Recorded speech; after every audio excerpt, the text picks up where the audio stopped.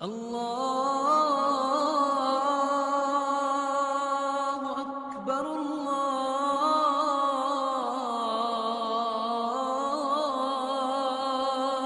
أكبر کسی کو معمولی سا بھی اللہ نے شان دے دی، وہ رب کو بھول جاتا ہے اور اپنے آپ کو ہی رب بنا لیتا ہے۔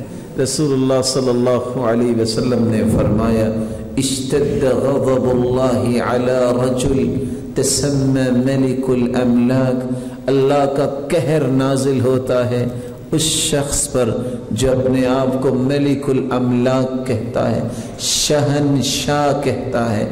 اخنس الاسماء اللہ سب سے برا نام اللہ کے ہاں یہ ہے کہ کسی کو شہنشاہ کہا جائے۔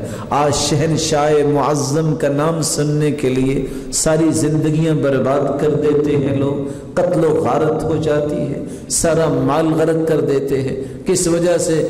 کہ میرے بارے میں کوئی شخص یہ کہہ دے کہ بادشاہ سلامت آ گئے ہیں۔ ملک الاملاک، بادشاہوں کا بادشاہ مجھے کو کہنے والا بن جائے۔ اللہ کے رسول صلی اللہ علیہ وسلم نے فرمایا، لا ملک الا للہ، اصل بادشاہی اللہ کی بادشاہی ہے۔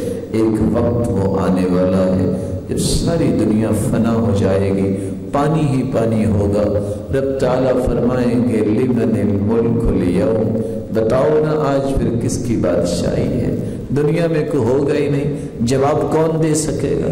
خود پھر اللہ تعالیٰ فرمائیں گے، للہ الواحد القہار۔ آج تو ایک اللہ کی بادشاہی ہے اور وہ قہار ہے۔